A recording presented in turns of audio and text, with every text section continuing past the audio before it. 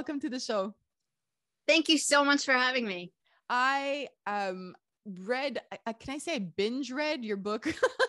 it was it was your first one 13 13 things uh, that mentally strong people don't do right i love that you've taken a twist on it and i just started reading and i couldn't stop and I'm, luckily it was on my my kindle because or else i think my highlighter would have just like worn out right away um thank you for everything that you do especially with your Verywell Mind podcast and the website as well um you really help us um work on ourselves and figure out how we can you know be better at this so thank you Oh, you're welcome. I appreciate everybody who uh, supports my work for sure. Um, so it, it's very clear through all your work that you want to help us be mentally strong. Can we start off by understanding? Because we're going to talk about that today. So, how do you define that? Oh, good question to start with. So, it's really about the way you think, feel, and behave. Mm. And it has to do with the thoughts are all about knowing that sometimes your brain lies to you. It's not always realistic, and that you can prove your brain wrong and trusting that you can do that. When your brain says you can't do something, sometimes you can.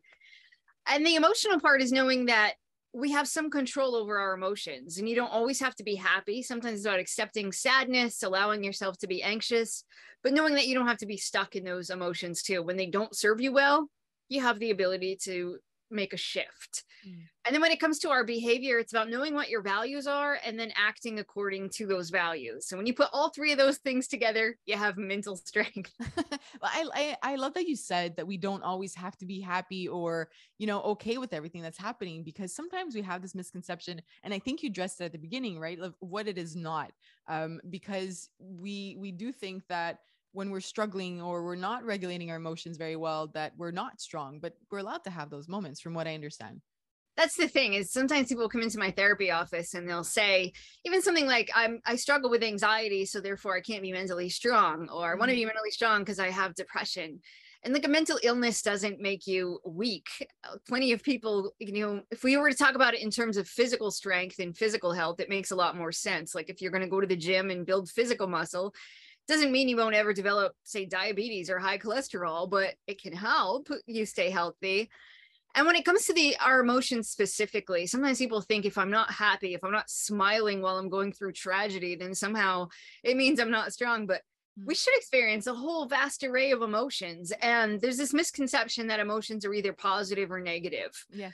That's not yes. true all emotions serve a purpose. Your mm-hmm. sadness uh, can help you honor something you lost. Your anxiety can keep you mm-hmm. safe so that you don't enter a dangerous situation. We're supposed to have all of these emotions. And even the ones that we would consider positive normally, like excitement, there's a downside to it. If you get really excited about a get rich quick scheme, you might fall prey to it because you don't realize that there's a downside to it. So it's really important to know that you can have all of these emotions, but but when they're not serving you well you can notice it so when you're like okay i i'm so sad i can't get out of bed for three weeks at a mm-hmm. time that's not healthy or i'm so mm-hmm. anxious i can't pay attention at work i need to do something about that and sometimes it's small steps self-help kind of things we can do sometimes it's something big maybe you need to go talk to a, a professional but there's always things we can do to help manage our emotions I, I want to touch on that self-help word because I think it's very popular. We we we want to be our best selves. We want to be perfect, right? I think sometimes we have this idea and the way you've approached it is and I, again i think you do talk about this at the beginning but it's not it's very easy for us to know oh i'm good at doing this or i want to do that or i'd love to have a better schedule or I'd, I'd love to have a routine around exercise but sometimes we don't take a lot of time to realize what things that we're doing that we shouldn't be doing that are contributing to these bad habits or the struggles that we have yeah, when I was thinking about it as you know, as a therapist, I was like, all right, they taught me to build on people's strengths. I was told when somebody comes in your therapy office, figure out what they're doing well and tell them to keep doing those things. And I mm. thought that's mm. great because you know we all want to know what's working. Mm-hmm. But then I was like, you know, if I were going to go see a physical trainer and they told me to run on the treadmill, well, I know I can run on the treadmill for an hour, but if I were to just drink a cup of hot chocolate on the way home, I've completely outdone that one hour. I have yeah. to run four more hours to burn it back off. And so I thought, if somebody didn't tell me, hey, by the way, there's a solution, there's a way to work smarter and not just harder, I'd be really mad. Mm. and so often people will say things like, well, just eat vegetables. That's great. But if I eat it alongside 17 jelly donuts every day, it doesn't matter how much broccoli I eat, I'm still going to struggle. And so I just really wanted to point out to people we all have so many good habits and yet we still think we need to do more and everybody mm-hmm. keeps piling them up and thinking i'm not doing enough. Yes. So i just wanted to say let's just eliminate some of your very worst emotional mental habits behavioral habits that can make all the good habits you already have that much more effective. That way we're not in this counterproductive mm-hmm. kind of hamster wheel where we just feel like i just can't get ahead. Exactly and you're right we keep piling it on. We want more of these good habits but we need to stop and think where do we begin if right now we feel like things aren't working well? We're not sure where to begin. With your definition of being mentally strong we're like okay I, I don't think i'm there. Sometimes there's a lack of insight right? Sometimes you're not sure where to begin. So how, how do you start this whole process? So you know uh, yeah it boils down to self-awareness and figuring out like what sort of mental habits do i have? Maybe you call yourself names. Maybe you start right there with okay mm-hmm. i put myself down mm-hmm. sometimes or maybe it's an emotional habit you lose your temper or whenever you're anxious you um you know pace back and forth you do something that's not mm-hmm. helpful you stay up all night researching something because you think if you can just find an answer you'll feel better mm. or maybe uh has to do with your behavior maybe you spend way too much money on online shopping but really this problem is that you're lonely and you're just sitting on the couch at home and you're not doing anything so just take a take some inventory and sometimes in mm. the therapy office we'll have people just for a whole week kind of log their behavior, their mood, their thoughts. And you recognize some patterns pretty quickly. Like I call myself names and then I beat myself up and I go home from work and I throw myself on the couch and I don't do anything healthy all night. Whatever it is, it usually becomes pretty easy to recognize some patterns and you think, okay, how do you break that pattern? Sometimes it's just changing your thinking. If you stop calling yourself names, you feel better. When you feel better, you do better.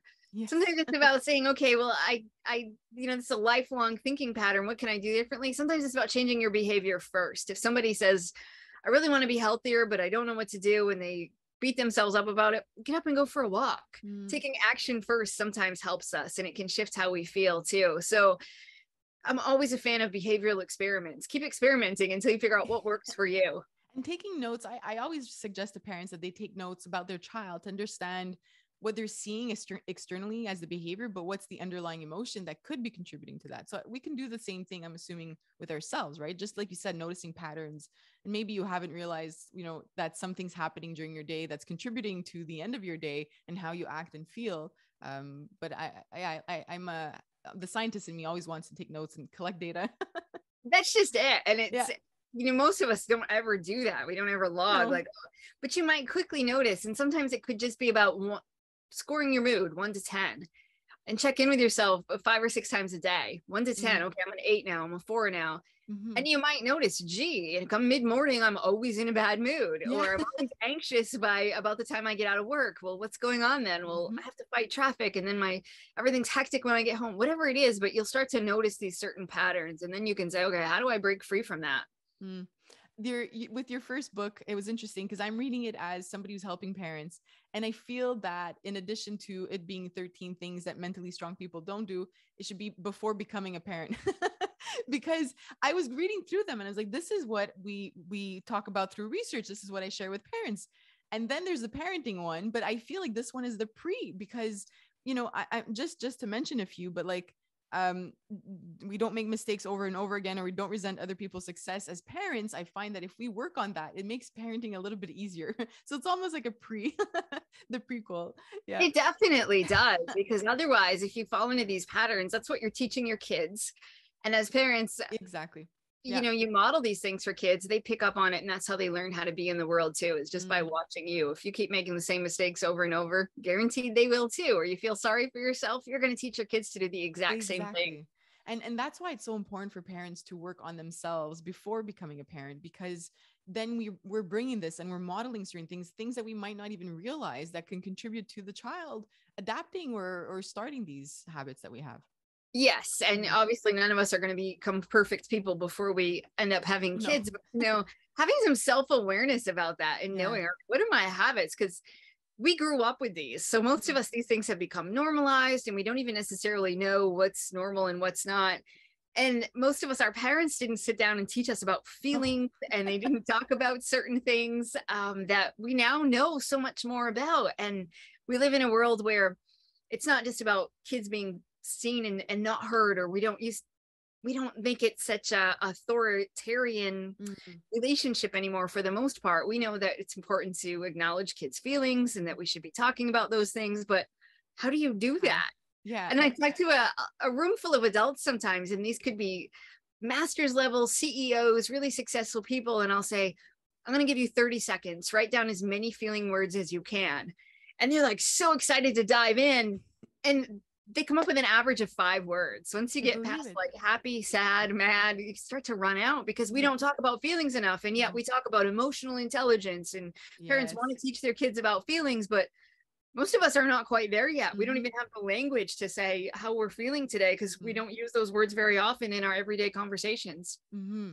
And and that's why we have to learn them first. And then when we teach our child, like parents will often tell me, my five year old is having these big emotions and is acting out, but they know they're able to identify like happy, um, uh, joy, you know, sadness and anger. I'm like, well, there are more than those feelings. But then once we know how to um, identify them, do we know what it feels like as a child? Do, are we teaching them what it feels like to experience anger? And then and that anger in one situation might be different from another one. And then what do you do with this anger right? We have to learn all of these skills. And my generation i could speak for my, myself we were told to kind of like squash that. Don't just like anything that was uh not happiness within our home was like how dare you how dare you be feel like mad or sad about this? You know you you shouldn't. Just just get out stop being a baby just move on. And we didn't learn how to deal with these uncomfortable not negative but uncomfortable emotions. Is that a good word for those emotions It, it is because same thing, right? If I was worried about something um, as a kid, like, gee, I have a science fair project coming up and I have to present in front of the class, the response I would get was, just don't worry about it. You'll yeah. do fine. Well, no, I am worried. But I am. Yeah. With, you know, this anxious feeling. Or parents will come into my therapy office and tell me that their kid's anger is really bad because their kid hits. Mm. Well, they're confused between angry feelings and aggressive behavior. Mm. And yes, hitting is not good, but angry feelings aren't necessarily a bad thing. When we're angry, sometimes it gives us courage. When we're mm. mad about something, sometimes we want to create change but we have to teach kids okay when you're angry what's an alternative? Instead of hitting your brother what could you do instead? Maybe you use your words maybe you color a picture you go for a run whatever it is. But we can start teaching kids those things but yes we have to know how to do those things first too. Yes. I'm, um, I'm thinking of the the your your first two books that i read and how I, i'm just curious about this but how do you come up with 13 points that are just so on point in terms of how what we have to change. How, uh, how what's the process for you? Is it like X, a certain amount of years? Is it experience mixed with clients? Like how do you come up with these 13 extremely important points? Well you know for my first book I, I never intended to be an author. I had written the 13 things mentally strong people don't do. It was just a letter to myself based on what i had learned as a therapist wow. but through my own journey i had lost my mom when I was 23, when I was 26, my husband died. And as a therapist, I was just studying people. I felt like I'm supposed to be teaching people who walk into my office. But on the other hand, I just thought I have this revolving door of case studies all day long of people who are going through hardship. Mm. What helps some of them more than others? And I realized pretty early on it wasn't always about about what people did. Sometimes it was about what they didn't do. Mm. And I wanted to know for my own enrichment, what are these things? But I wanted to carry it forward and teach other people too. And so uh, that's really how I learned it. And then uh, when I was faced with my uh, inevitable, I guess my father-in-law's prognosis, he'd di- been diagnosed with cancer. His prognosis was bad. We knew he had maybe a couple of months to live at most. And that was when I wrote a letter to myself about what mentally strong people don't do. And there just happened to be 13 things on the list. Mm-hmm. And published it online, sort of thinking, ah, if it helps me, maybe it'll help somebody else. And if you've read the book, you know the story. It went viral, and then I, mm-hmm. I started writing books. But there in the first book there was no magic meant to be in the number 13 that was just my my own letter but after i wrote the first book parents kept asking me like how do we teach this to our kids and if i if i had learned this sooner it could have changed the entire course of my life and so i I mm-hmm. wanted to write a kid's book, but I thought that's not the next step because if I write a book for a 10 year old and he, he reads it and then he puts it back on the shelf, nothing's going to change. I felt like I needed to write the parenting book first because yeah. I wanted to help parents know how do you implement these things in your house. So I took the 13 things from the original book and just made it like the parenting style of now how do you how do you teach this? And then when I, I wrote the women's book that was just about women specifically, but then when I wrote the kids book, I just wanted to put it in terms of, you know, what do strong kids do? Because I didn't want to say what not to do as a kid, but I wanted to focus on yes. here are the healthy habits, you know, instead of telling your kid don't run, it's helpful with kids to say use your walking feet. I wanted the book to be about that, but um, I just try to pick the most important 13 things that um, that I think tend to hold people back. And those were the ones that I'd seen in my therapy office over the years and ones that I know resonated in my own life too. One from your parenting, a point from your parenting uh, book was about um uh I want to say it properly, but sh- yeah, shielding them from pain. And the mm. reason why I'm bringing that up is we often hear about parents wanting their child to be resilient and but then we also want to shield them from pain. So how do we how do we balance that? How do we include that sort not or, or avoid that as a parent? Well i hear so many parents say things like well kids are resilient. But they're hmm. not born resilient. They mm-hmm. only become resilient because we teach them how. And sometimes i think there's that misconception that my kid will bounce back. So if they fail at stuff that's fine. They'll get over it but we have to teach them how to do it. And so I see some parents that kind of want to throw their kids out there to the wolves without teaching them first. or I even see some parents who like want to create some kind of hardship for their kids on purpose just to toughen them up. Mm. You don't need to do that. Life is tough enough.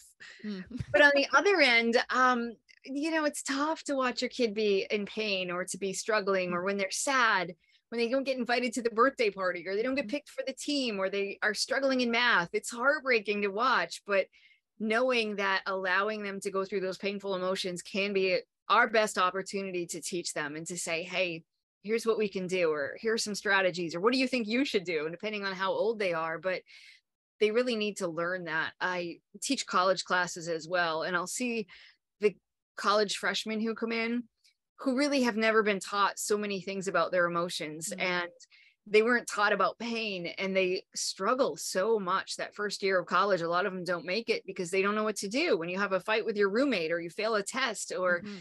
you don't have anybody to sit with you're lonely on friday night all of those sorts of problems they don't have the problem solving skills they don't have the emotional skills to cope with it and nine times out of ten i suspect it's because their parents did them a disservice their parents it was too uncomfortable for parents to watch their kids do go through those things. So in order to relieve their own anxiety, they stepped in and they solved the problems. They mm-hmm. cheered them up. They said, "Oh, let's go for ice cream. Don't be sad."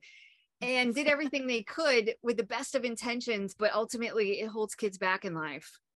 So if a parent's listening to this and realize and realizes I, I might have been, I, I think I am that parent, where where do you begin your journey? If you yourself are uncomfortable with these emotions, how can we support our child to be okay during these difficult emotions? Just like with ourselves about um, as a parent name your own emotions. Maybe you're really anxious right now because your a child didn't get invited to the party or your child is struggling with something at school and your anxiety goes up. Just acknowledging it we know when you put a name to your feelings it takes some of the sting out of it. And then to have conversations with your kids ask them how are you feeling about this? Because sometimes we project our own anxieties and our own concerns onto kids and they may not have them. We're thinking oh my gosh they must be feeling horrible or this is awful or how anxious they must be. They might not necessarily be feeling that way but they might be worried about something completely different. Sometimes the little things that we think are little are really big to kids. So mm-hmm talking to them, asking them, checking in. If you have a kid who's not going to name their feelings, it's not going to, 14 year old boy, if you've never had conversations about feelings, is not going to sit across the table and be like, you know how I'm feeling right now? Yeah. but you might be able to ask them, scale of one to 10, how you feeling today? And they mm. might say, you know, a solid four today. And then you can have a conversation that. about that much easier than you can about that. And I find with um, older kids too, you can ask them about their friends. Like, gosh, do you think any of your friends are struggling with math class or do you think any of your friends are having a hard time because of covid whatever it is? And they'll be really quick to say you know what? All of my friends are having a hard time with they'll fill in the blank. But i guarantee your kids having a hard time with it too. It's just harder to, for them to say i'm struggling with but they can say their friends mm-hmm. are struggling with something. that's true. That's such a good point. And i i think on that along those lines um with mistakes right? So we i think we we don't want our kids to make mistakes. I'm thinking back to my own education and and, and the ones i of, of kids i see in my environment like you we just want them to do so well and we like push them to perfection when it comes to grades.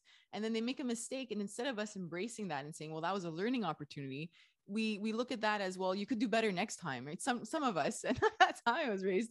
How can we approach that? Again if we were raised a certain way and we want them to do well i think we we do it unintentionally and with love because we want them to succeed later on but how do we come down from that and realize that mistakes are really important for them Yeah, that's a tough one because we do. We want our kids to do well. And when they get 100 on a test, we want to be like, cheer them on and be like, my goodness, you're so smart. And then they get the lower grade on a test. And we want to say that exact same thing. Like, yeah. what do you do better next time? But mm.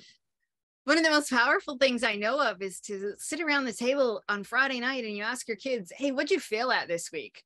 And when they tell you, like, you know, I didn't make the team, I got cut from this, or I tried that experiment and it didn't work, like high five for having the courage to try to do something that was really mm. hard. Yeah. Because we know that kids easily get in the pattern of only wanting to do things they're good at. So if they mm, try this out for soccer and they're not the best kid on the soccer team, they might be really tempted to quit, or mm. they might not dare to try playing an instrument if they know that it's too much work and it's hard at first and you're going to sound terrible when you first practice it.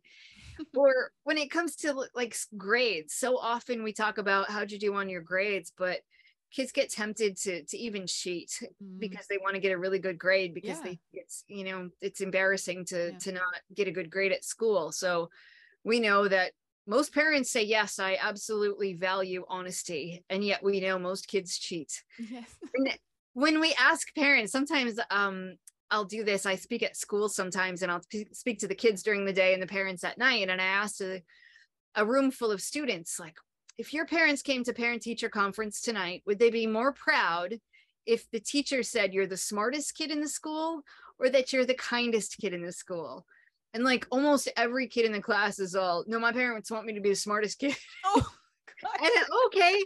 And yeah. then at night, I'll ask the parents the same question. And probably just as many of the parents will say, I want the kindest kid in the class. Oh. and we'll talk about that. And I'll say, you know, why is it that maybe some of your kids think that they don't know exactly what your values are. Well, for most parents, they ask their kids, How'd you do in math today? How was your mm-hmm. science test? We don't really ask them, Who were you kind to? What'd you do true. at recess today to be kind to somebody? Mm-hmm. So kids get that all mixed up because that's what we talk about the most. We spend three hours doing homework, but not even 10 seconds asking them about kindness. So, what do they think that you value the most? Exactly. And nothing wrong in that. That's just sort of how life works is that we we go to ju- works during the day but, but money might not be our most valuable thing in life but you have to pay the bills because you need to live. But just mm-hmm. knowing what are your family values? And when it comes to failure and messing up how do you view that? And how do you talk about it? And do you tell your kids when you fail? Mm-hmm. most adults i know like i don't want to tell my kids i didn't get that that promotion or i don't want my kids to know that i'm not perfect or that i messed up but those are all opportunities to have conversations. When you mess up you have an opportunity to own up to it. We know most mm-hmm. kids will hide their mistakes, right? That they don't want you to know. So they'll go to great lengths to pretend like it didn't happen or crumple the paper up so you don't see it. and so we don't want them to do that. We want them to know if you make a mistake, be honest about it and that's okay. And you can own it and then you can do better. I love the idea of sharing these mistakes with them because it's just so important for them to see that we're not perfect and we're right. navigating this world with the same kind of tools and feelings around certain things. So it's okay to have that. Um, I, I had given a workshop a couple weeks ago, and there was a father that really stood out to me. He said, um, I had told them about like, you know, um, assessing like what you struggle with when it comes to emotions or what you excel at. And he's like, can I do that in front of my child, like on about my emotions? And I was like, of course. And he's like, well, what if I struggle with anger?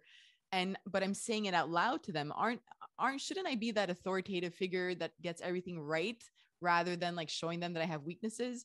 It's like but these emotions make you human right? So we have to move away from this idea of like perfection and especially emotions that make you weak or or you know it's i think it's so important for us to model and share everything with our kids obviously everything to uh, you know the, as long as it's developmentally appropriate. Um but i'm thinking about the stories that you were just sharing now and uh, in terms of like mistakes. And i'm thinking of an environment with a younger child. What are certain things that we might be doing unintentionally? Uh, i'm thinking about like every three draw every drawing that your child shows you and it's like the best drawing in the world is you know we talk a lot about this positive feedback. Um, i'd love to hear from you in terms of like how that might contribute to our child later on yeah, that's a good question about about coloring because we all do these certain things. So your yeah. kid colors the tree purple, and a lot of parents are like, "No, the tree's oh, green." Yeah. We originally start correcting them with what's yes. right and what's not right. It's true. and then we do that thing of, "Wow, you're the best coloring colorer in the whole world," or "That's the be- most beautiful picture ever." And yeah. and uh, you know, we're like, okay, if you tell your four year old their picture's beautiful, you're not doing any damage. But on the other hand it's good for kids to learn to assess their own work. So you can ask them, what's your favorite part about this picture you just colored? And they might say, I love the purple tree. Wow, that's great that you love the purple tree. is there anything that that you wish you would have done differently you could even ask them did you make any mistakes on this one and they might say yeah i accidentally colored the bird brown and i didn't mean to oh okay but you know and just talk about the, all of those sorts of things with their picture but you can ask them questions rather than telling them what to do mm. Or sometimes you can just kind of be the radio announcer. You sit down next to your kid like oh look you're coloring the tree purple. Oh now you're picking up the red crayon and you're coloring the sky red instead of like directing them, we try to make everything yes. a learning activity. We take the crayon away. No, the sun is yellow. It's not purple.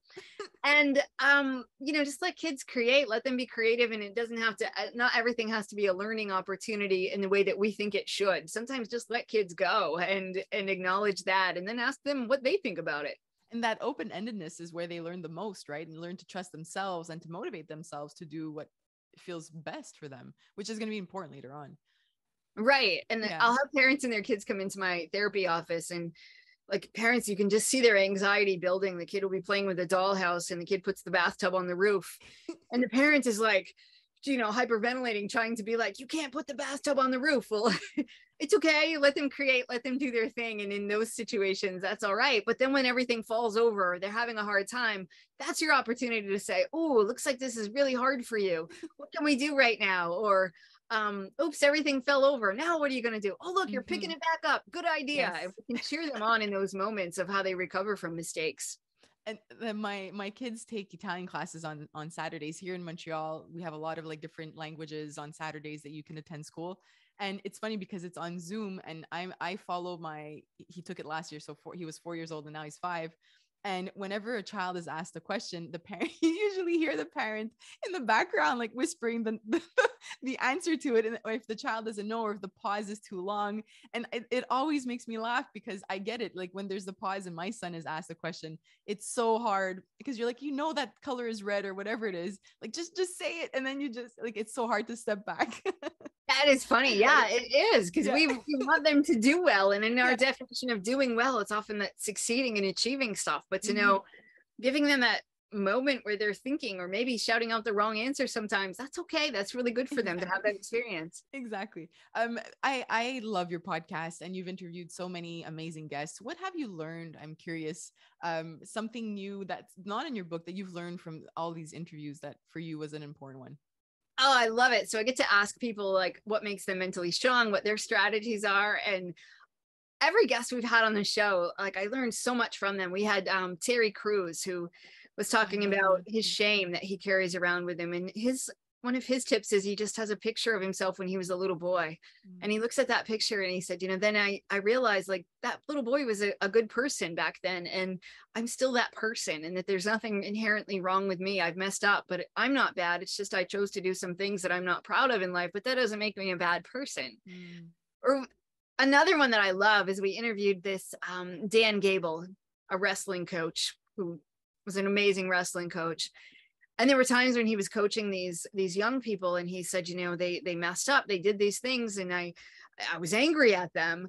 But he said i would just look up at the crowd and i would look for somebody who loved him. He said if you look at somebody's mom and you're like this kid has a mom who loves him he's like you just develop instant empathy and compassion for this person because you can't be mad at somebody when you're just reminded of who loves this person. And i thought i love that. I didn't learn that in a college textbook but what an amazing strategy and and so i've adopted so many of these strategies for my own I, I love that because it's important for us to learn from each other. And sometimes we feel less alone in our journey, you know. Um, and what you mentioned about Terry Crews, for, for me, it comes back to what I've been working on the past couple years, which is the self compassion piece. I've never worked on that. Nobody ever taught me how to do that. But only as a parent, I was like, oh, there's not a lot of self compassion here when there's like really big chaotic moments. I'm pretty hard on myself, which I was before, but it got like amplified so much as a parent um, I, I, know that the parents that are listening uh, right now to this podcast, we have a, a variety, right? Parents who have a partner, some who don't have a partner, some who are foster parents. And I think that when it comes to being mentally strong, they might have different challenges. What what can we share with these parents who, like somebody who might be alone and not have you know feel just like i'm not in control of my emotions i don't have time to write notes i don't know where to begin right now i guess to end off our conversation how do we help or I guess how can all your advice like help with these people who might have a lot more struggles? Yeah, so I guess first thought would be knowing something and doing it are two different things. I'm a therapist and I teach parents all day long about, you know, all of these skills, but I was a foster parent for years. And the things that I inherently knew, yet I was supposed to do. So, for instance, to mm. let my foster child go to summer camp. I'm like, oh my gosh, no, like, you know, she's probably going to get picked on. She's going to get made fun of. And I'm like, we can't let her go. And my husband's like, you know, she'll probably have a good time. It's so, and I just like, you know, my heart's racing as I'm like sending the kid off to camp. She had like the best week of her life, but I would have prevented that because yeah. I didn't want her to get hurt. So even though we're mm. just talking about like, don't let your kids do scary things or, mm-hmm. or it's okay to let them expose them to potentially painful things. I know it's really tough to do. Mm. And just recognizing within ourselves, like, all right, what are the, what's, what's hard for me? And to know that you don't have to be a perfect parent mm. that there's so much research out there that just being a good enough parent uh, is good enough that your kids are never going to have a perfect boss a perfect partner a perfect roommate so it's okay to mess up and to learn from those things and it's really about just having a good relationship with your kids mm. if you have a kid that you can sit down and play with for 10 to 15 minutes a day and give them your undivided attention where you shut your phone off and you just let them know that they matter to you for those 10 to 15 minutes. So much research shows that your kid will turn out okay in the end. Yes. And and coming out of the pandemic now we're seeing some kids you know i've been speaking to some schools here there's more like aggressive behavior and more anxiety and they don't know how to approach all this.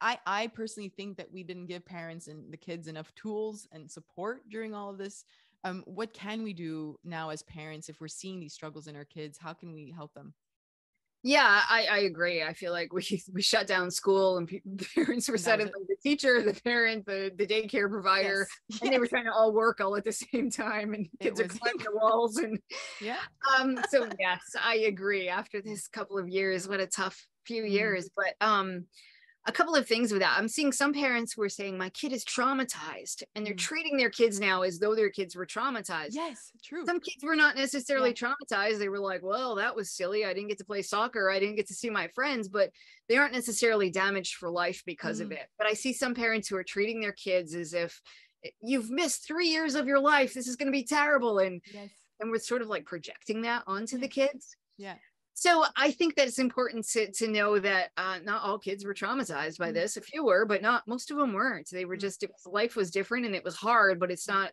as traumatic as a life or death uh, injury or anything like that. And I also think um, you know to, to not worry so much about what kids missed because i hear a lot of parents saying well they missed two years of school or they missed a whole year of school now they're so far behind and the parents anxiety is such that the kids are now anxious because they're like oh i missed mm-hmm. all this stuff and now i'm not gonna i don't know get a high school diploma but yeah. to just let kids be kids at the moment it's okay to have fun and to not worry so much about what they missed but to focus more on the emotional stuff rather than all of the academic stuff because even if you have a kid who does really well in school, if they can't control their temper when they're 18, they're not going to do very well in life. So, mm. you know, these are all opportunities to teach them. And if you do have a kid who's aggressive, they're acting out, just consider it more learning opportunities. What works for one kid doesn't work for everybody, but uh, it can be an opportunity to say, what are we going to try? What are we going to do differently? and um, and see what you can come up with to help kids get through this tough time. And I think you're right. You know, when I was speaking to parents, a lot of them had anxieties themselves around coming out of the pen. Uh, can we say that yet? I don't know. coming know. out of the pandemic, um, but just really things becoming going back to normal and you I you really um, hit that on the mark because the parents seem to be bringing their anxieties on their children. Not all of them, but the parents I spoke with. So they were saying that their child is anxious, but then when you speak to them, the parent had a lot of struggles during the past few years. And obviously, we know that the environment will have an impact on the child. And if parents weren't supported, and like you said, wearing 35 hats in terms of what they have to do and the responsibilities, that's a lot of stress within the household. And that means that we won't deal with their child or support them in the way that we they need um, which could come out as bigger emotions and some behavioral issues that's just it and i think until things settle down even a little bit more yeah it's to be expected because a lot of yeah. parents are stressed right. out and they're struggling with with financial things and catching up on issues that uh, had to be set aside during the pandemic. And so, as long as families are stressed and parents are stressed, kids feel that too. And they yeah. know that things are kind of weird still. So, I think yeah. until a lot of that settles down, mm-hmm. kids may struggle for a little while. Mm-hmm. Um, well, I'd love to hear about what's coming up with you uh, in terms of projects or books. I think you have a workbook coming out. I'd love to share that with everybody if, if I'm right. yes, you do. So uh, it's been almost 10 years since my first book came out 13 Things Mentally Strong People Don't Do. Mm. But kind of the world has changed a lot in the last decade and so many people were just like i need more how do i learn more about mm. mental strength so now 13 things mentally strong people don't do the workbook mm. goes on sale in february and it's really lots of just hands-on exercises a great way for people to build self-awareness with quizzes and checklists and filling questions and um, exercises straight from my therapy office because whereas my original book was about what they don't do, mentally strong people, this one is going to be about what you don't do. So I would generally wanted people to then say, okay, how do I apply these things to my mm-hmm. life? And if I'm struggling with this, what can I do instead? I love that. And can you talk just a little bit about your the book that I see behind you with the kids? I haven't had a chance to read that one yet. Wh- who or how does a parent know that this might be a good book for their child as well? Oh yeah, so this one was was so fun to write. I had always wanted to write a kid's book, but I kind of didn't know how. But we wrote it for the eight to 12 year old range. And it's 13 things strong kids do. And my niece said, uh, Auntie Amy, we get told what not to do all the time. Can you just tell us what to do, please? I said, I will. I'll write a book Make about what to do. Yeah. but it's all about the same things about perseverance and gratitude and practicing so many skills that again as parents we don't always know what to mm. how to teach them. And so in a really kid friendly way i just wanted kids to know how do you name your emotions? Oh, how, what do you, you. do yes. when you're thinking negative thoughts? How do you talk back to those thoughts in your own head so you can say no i, I can do this. And how do you take some kind of positive action? How do you be brave when nobody else is is stepping up? How do you be brave when you're scared to do something but it's a good idea and you want to do it anyway? And again just to see kids like i get kids that review the book and they'll send me little notes and it's probably the oh. most rewarding thing i have yeah. ever done in my life is to get these notes and pictures and there's this one kid that um my favorite story is the uh, parents had read my parenting book and decided to implement uh, some of the strategies from that and part of it was helping the child to become more responsible and she really mm. wanted a bunny and um, she was able to, to do all this stuff and she earned a bunny and then there's a picture of the the kid and she's reading my kid book with her bunny in her lap and they said the reason she has that bunny is because we were a parenting book and she was so excited oh. to learn that you had a kids book Aww. that was just like a to come full circle and so yeah. excited to see that i love that my kids are a little younger but i'm definitely going to get that i have a three five and seven year old so seven year old oh, nice. getting close to that Thank you, Amy, for taking the time to chat with me today. I will put the the links to all your books and your podcast so that everybody can share um, the knowledge that you are sharing with them and your Instagram as well. Uh, is there anything else you'd like to share with us that I haven't maybe mentioned? Um, I would just say for all of us, we're stronger than we think. Your brain will doubt you. It will try to talk you out of doing stuff, but you can do way more than you think that you're capable of. That is so true. Thank you so much. I hope we get to chat again soon. Oh, me too. Thanks for having me.